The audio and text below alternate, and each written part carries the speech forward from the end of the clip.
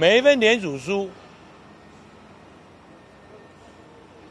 对我都是一份责任，我们会继续奋勇向前。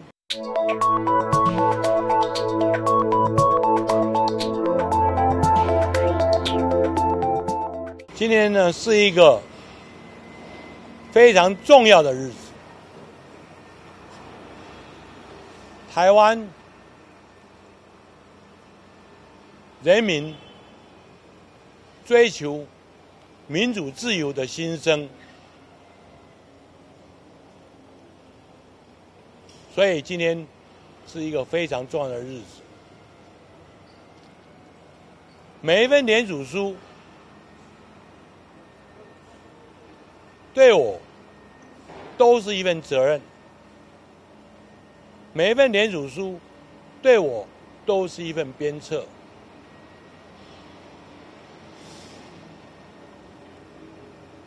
我们会，我跟 Tammy 会继续啊铭记在心。台湾人民需要改变。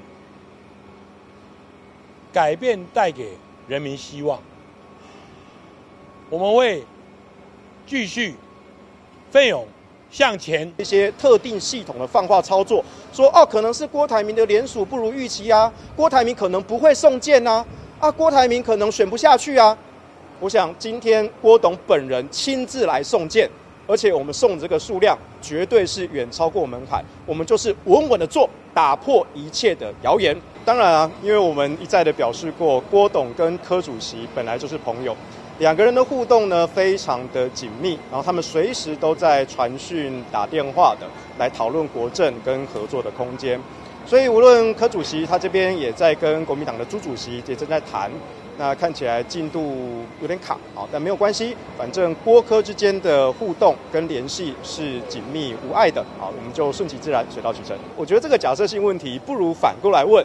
如果蓝白没办法和，那么柯主席跟朱主席要怎么继续走下去？我想这个应该是国民党的烦恼会比较大一些。这一连串的涉嫌买票的不法案件，每一次有相关的新闻，我都请法务团队去彻底的清查。那这些都不是官方的站点。